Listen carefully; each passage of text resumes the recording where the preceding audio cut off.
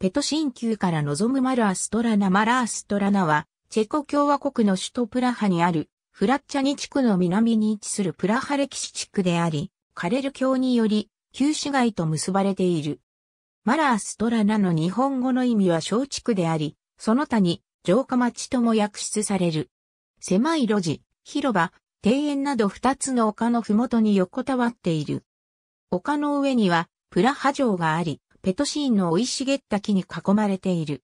初期のマラーストラナの集落は、現在のマラーストラナ広場のあたりであり、おそらく紀元前1000年期頃には存在していたと考えられている。貿易ルートを通じて、ブルタバ川の早瀬に乗って東から西へと横断していた。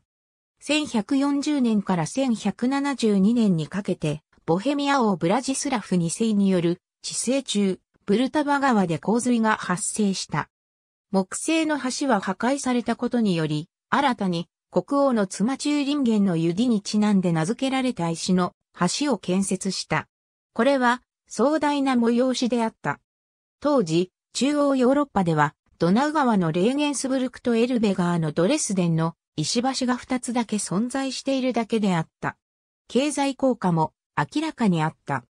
新しい橋は洪水に対して強い抵抗を示し、それに増してはるかに大きな容量を持つ荷車を移動させることができた。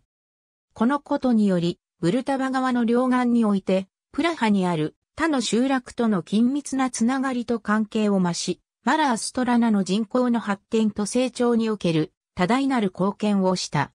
1257年、プシセミスル家のボヘミア王オタカル2世が、プラハ城下の多数の集落を融合し一つの管理単位にした上で、正式に町マラーストラナを創設した。オタカル2世は、要塞の守備のため都市の城壁の建設を命じた。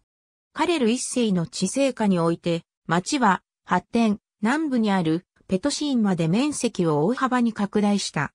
1360年、町は上の壁と呼ばれた城壁に囲まれた。それ以来町、マラーストラナは、城の守備のため戦略的に重要な場所となった。フス戦争の間、度重なる戦乱のため荒廃した。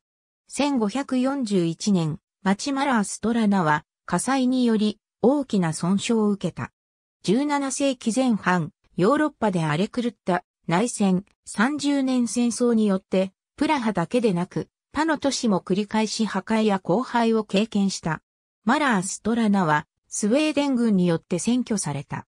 17世紀から18世紀後半、マラーストラナは急速に壮大なバロック様式の宮殿の建設が進められた。